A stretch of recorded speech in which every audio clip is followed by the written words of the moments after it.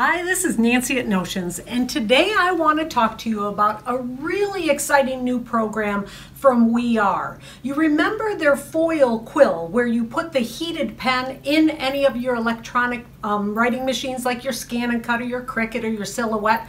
Well, now they have come out with five new variations on a theme and none of these need heat. There is the glitter quill pen which has a glue pen and then after the glue goes down you're able to sprinkle on any of the glitters. I also liked the glue pen. I just did my signature with it just freehand and then put some glitter over on top of that. Loved the effect that that gave. Then there's the etching pen and with the etching pen it's going to give you the look as if you put etching cream on on it, but instead it is just a it's a scratching motion, I guess is what I would say, on the plastic that they give you. The fabric quill is going to be my all-time favorite. These pens are absolutely marvelous and totally permanent. I did some work on some, washed it in cool water, pressed it out, and there was no bleed whatsoever. Really happy with the results on that.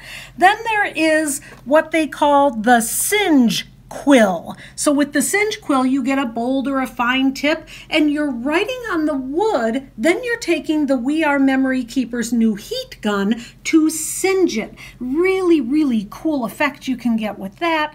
And then last but not least is the bevel quill and the bevel quill is going to deboss on the metal pieces that they give you. I've done a couple of different ones and then I used an alcohol ink marker to color on some of those because it is a metal surface. So of course that always works great with the alcohol markers. We're going to come back and I'm going to show you some step-by-steps on some of these.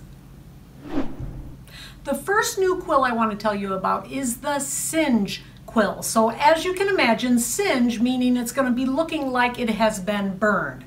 And that's the idea. So with this kit, you get all of these wood pieces. So they're all a really smooth wood piece. I'm not sure what kind of wood it is for a lot of different applications. And then there are other ones for purchase. So this set has a lot of little circles and some smaller ones.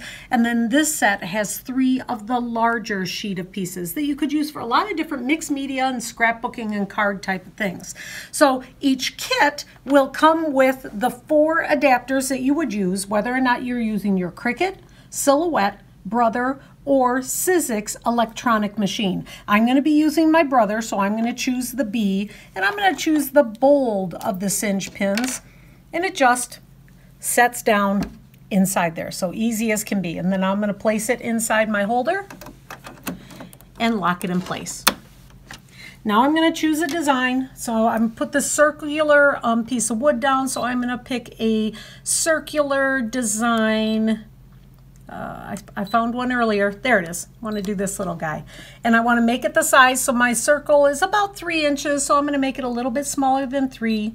And I'm going to choose just the line drawing. So I could do it in different parts. If I were cutting out paper, I would do all the different parts. But I'm just going to do a line drawing of that sunflower.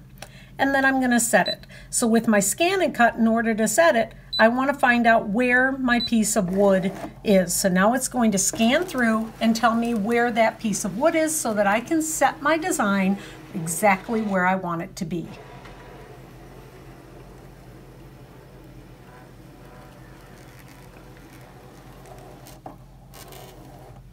And you saw that I did put a piece, some tape on there to really make it hold in place.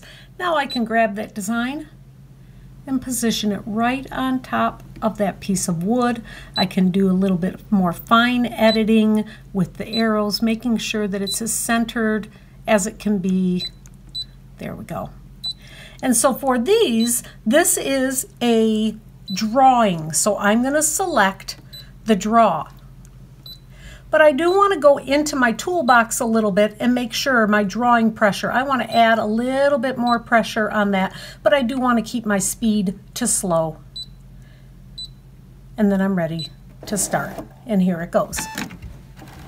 Now, when this is drawing, you will not see anything happening.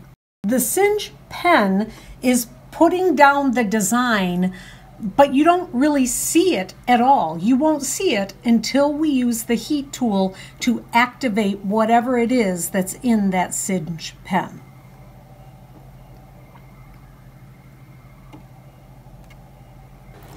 All right, so it's all done drawing, and now I'm just gonna peel this up. So I did put the tape on there to help hold it in place because it is a larger piece than I would normally have. And now I'm going to take the new Singe heat tool. So this is from We Are Memory Keepers also. And it gets very hot and it has a kind of a focus tunnel here that I found really worked quite nicely to heat this up.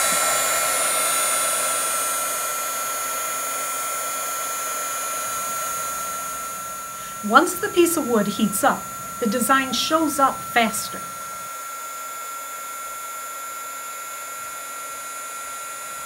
Make sure there's something underneath your project, like a craft mat, to protect your work surface.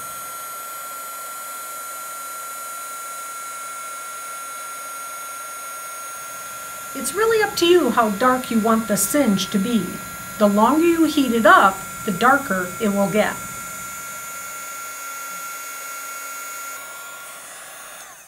So there you go. That is the Singe design. You also could use some ink on this. This is a wood piece, so you, if you chose to, could do some coloring in. We've got a couple of more of the new quills to show you. The glue quill is the next I want to talk to you about. And this was really nice because the kit itself comes, of course, with all the adapters and two glue pens, but it comes with nice selection of glitters and two embossing powders. And I loved the effect that it gave me on this um, piece that I did. Now, I got to tell you about this piece. It took five minutes for that to draw. And I was worried that the glitter was not going to stick to the part of the design that had been put down in the beginning. But even after five minutes, it worked beautifully and the glitters really, really stuck. So I chose just a fun word design in my ScanNCut.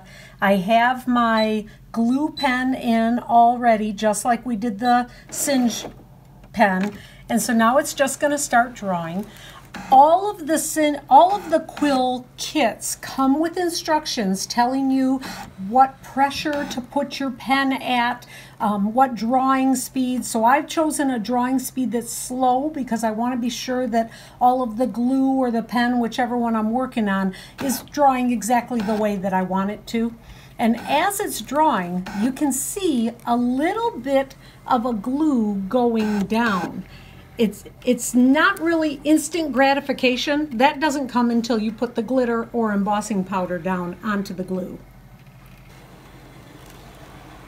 Now this design took three minutes to draw and like I mentioned with the larger one I was worried that the glue might dry beforehand but it didn't.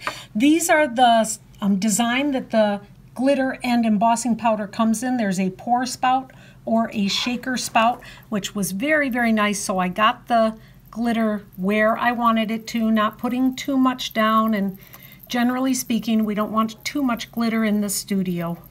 Although in my case, I would think it'd be a fine idea. And then once you have it on, it's just a matter of shaking it around into place, knocking it off.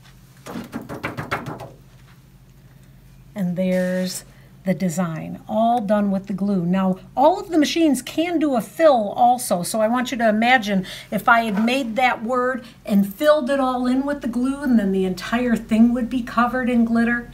I have one more quilt to talk to you about. I think the fabric quill is probably my favorite for obvious reasons because there's so many different things I can think of doing with this, especially in quilting all quilts need to have a label saying who the quilt was made for and who made it and when they made it. And my handwriting is really bad. So with using the fabric quill and my ScanNCut, I'm able to write on the labels exactly what I want and make really, really creative decisions too. The kit itself comes with 12 permanent fabric markers, so those are these colors here, and a bleach marker. So you could put the use the bleach marker on a dark fabric and bleach will take out the color and a washable marker which could be used for if you're doing needlepoint it'll draw your design on and then you do your stitching and it will be able to come out. I want to show you the fun kind of three or four step process that you can take it through with your electronic machine. So I want to do this little boat on the fabric. I do want to recommend that you spray size your fabric to keep it nice and stiff first. So first I'm going to choose the outline of the boat and I'm going to do this in black. Now I'm going to set it onto my fabric. So with my ScanNCut, that means I want to scan what I have on the mat so I know where it is that I'm going to set it down.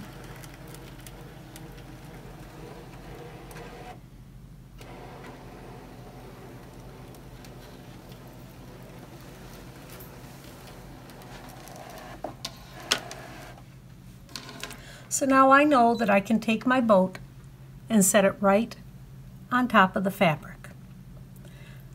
And now it's set. Now it will draw the um, design. But with this, you do want to be sure that you take the pressure off. You don't want there to be much drawing pressure. Um, it moves the fabric too much if you do. And so I just took all the pressure off and it drew beautifully for me.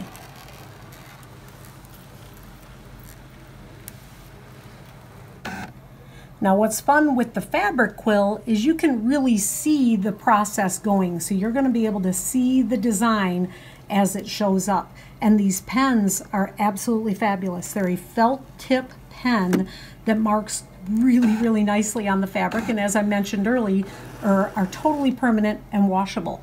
Now there is a set of 30 pens that is sold separately if you want a few more colors or if you do so much drawing that your pens are wearing out.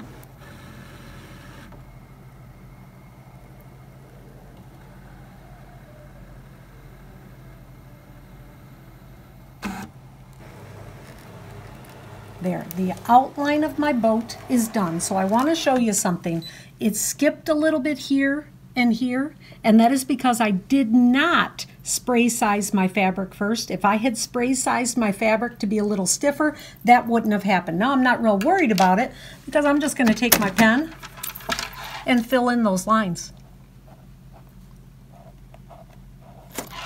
Now we're going to take one of the colored pens and do some of the coloring on the boat.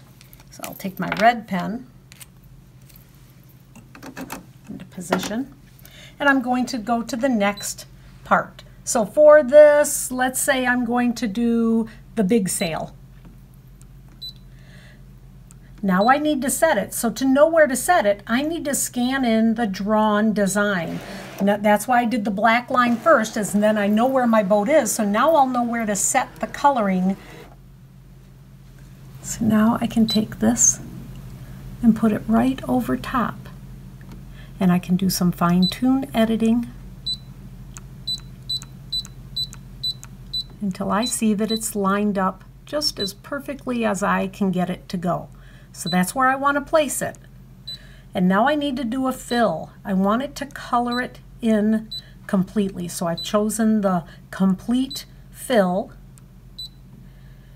And now you see that it's all filled in and that's what it's going to draw. And I'm ready to start.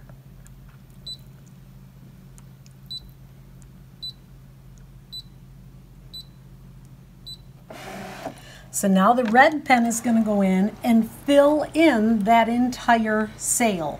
And I'll take each part of the boat and do it that way, choosing what it is that I want to fill in, and then it will color it all in. Now I must admit, this does a perfect job. Everything is exactly where I want it to be, but I was tempted just to take my pen out and fill it in myself when it wasn't too in, not that in, of an intricate design. If it were a very intricate design, I would definitely want my machine to do it, but for something like this, it might be just as well to take the pen out and do the coloring yourself. And there it is. The first sail is colored in and it is really perfect. The way that the pen goes across with the machine, there's no part of it that is darker than another part. So yes, you can do it freehand, but I gotta tell you, the way the machines make it work, it's really wonderful. So I'm gonna finish this up and then come back. So the boat is all about done. I've got a few more things to add to it. Do be sure that the dot, that the marker that you put down is dry before you put another one right next to it because it can do some bleeding. But if you dry it first, there won't be any bleeding on it at all. I will of course add to this the label, who made it and who it's for and the year that I made it. But I love this idea for making quilt labels with the new fabric quill from We Are. So there's five new quills for you to check out. I think that these are really going to do well in all of your stores.